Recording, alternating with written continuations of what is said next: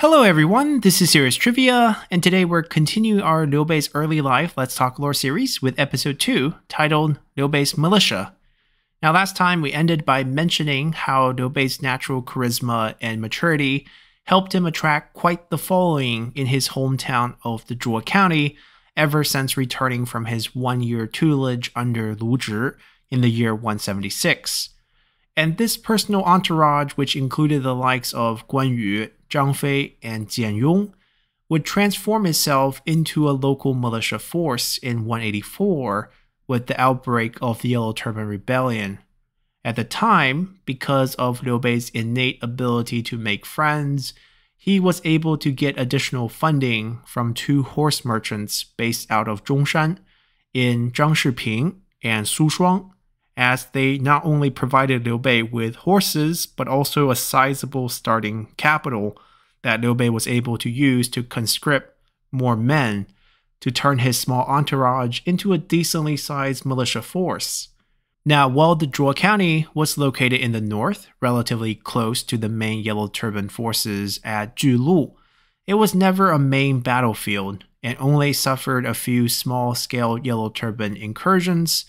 which by all accounts were beaten back by the local garrison with help from Bei's militia. And unlike the Romance accounts, Bei's militia never joined up with any of the main Han armies as they remained in the Zhuo commandery throughout the rebellion. Therefore, given Liu small contribution, it should come as no surprise that he was not awarded any government post at the end of the Yellow Turban Rebellion.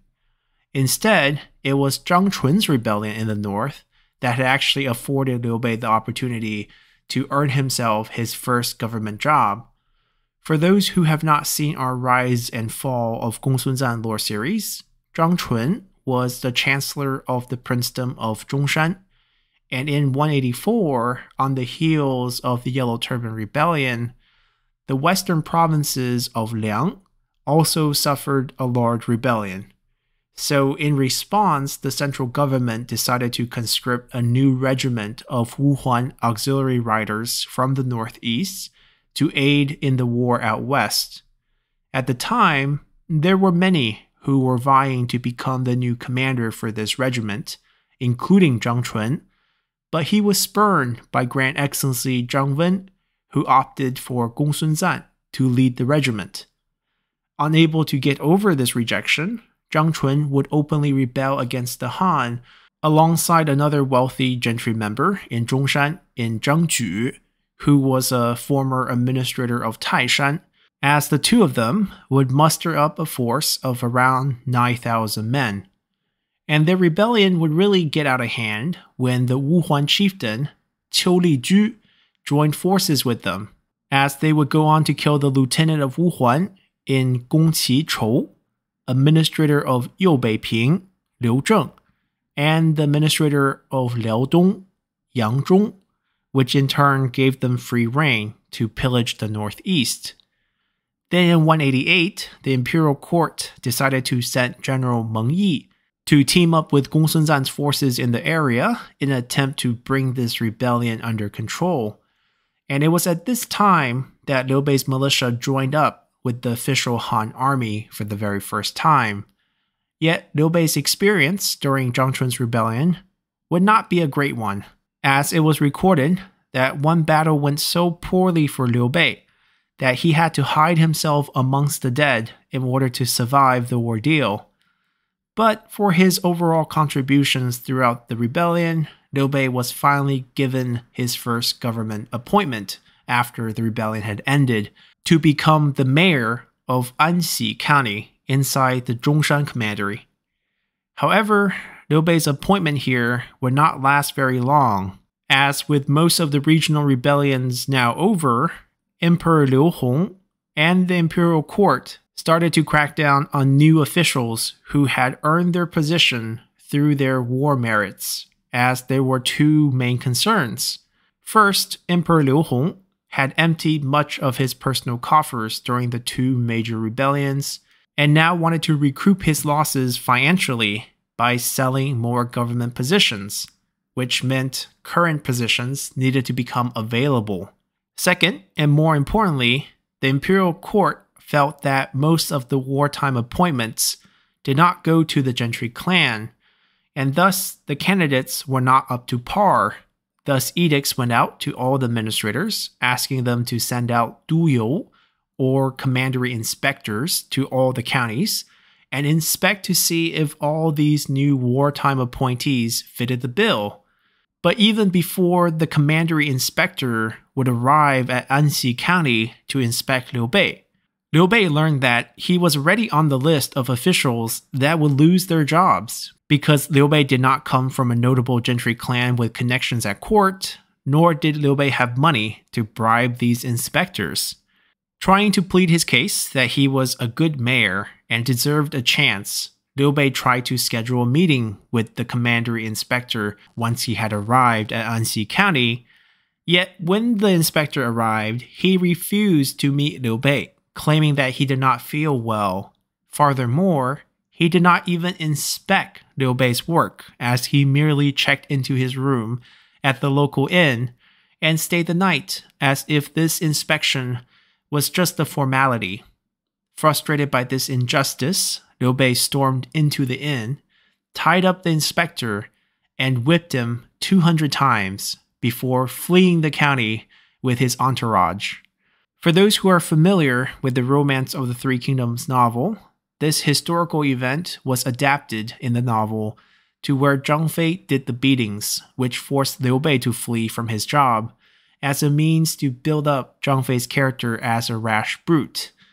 Now, after Liu Bei fled Anxi County, he decided to travel south as there was news that the Grand General He Jin had sent General Guan Qiuyi to Danyang to conscript a new army for the emperor. But before he would reach Danyang, his entourage would bump into a bandit raid around Xiapi, and after helping the locals fight off the bandits, Liu Bei was elected by the locals to become their new temporary mayor in a small county called Xiami. But since Liu Bei was not an official appointee, he had to resign not long after, once the new appointee arrived. But seeing that this area was unsafe and rife with bandits, Liu Bei and his militia would stay behind and become the county garrison for a neighboring county called Gaotang, where Liu Bei would work his way up to become the next mayor there.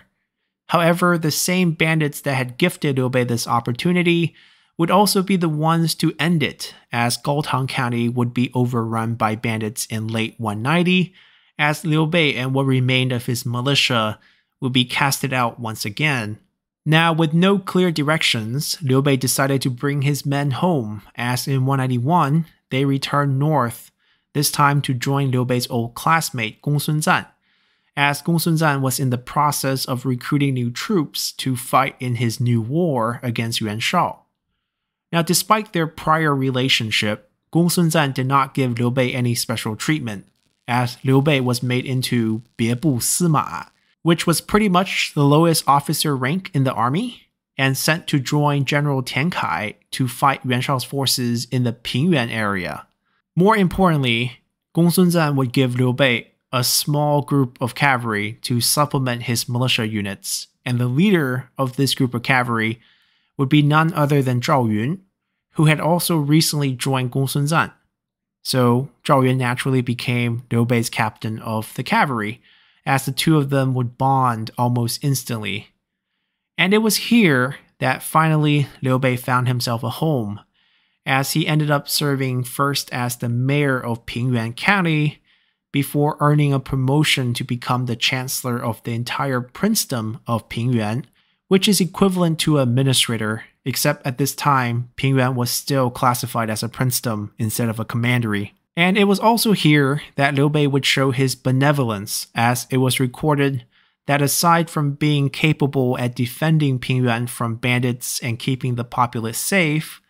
Liu Bei treated everyone, even the commoners and the poor, as equals. When he would visit the poor, he would share the same floor mats and eat from the same bowl, as Liu Bei knew full well what it was like to grow up poor. But of course, not everyone liked Liu Bei's rule, as a man by the name of Liu Ping would end up hiring an assassin to kill Liu Bei. But when the assassin approached Liu Bei, Liu Bei greeted him warmly and politely, which touched the assassin, who had been told that Liu Bei was a corrupt official. Seeing that that was not the case, the assassin would abandon his mission and instead inform Liu Bei of the plot on his life before leaving. And it was precisely because of this reputation of benevolence that Liu Bei had earned himself while serving in Pingyuan that when the neighboring princedom of Beihai came under attack by Yellow Turban forces led by Guan Hai, the chancellor of Beihai at the time, Kong Rong, sent Taishi Ci to Pingyuan in order to ask Liu Bei for aid. And with that, our episode here comes to an end, as we'll return next time to see how Liu Bei's military aid would eventually land him the entire Xu province. So hopefully you all enjoyed this episode enough to hit that like button to help support the channel, and I'll see you all next time. Bye!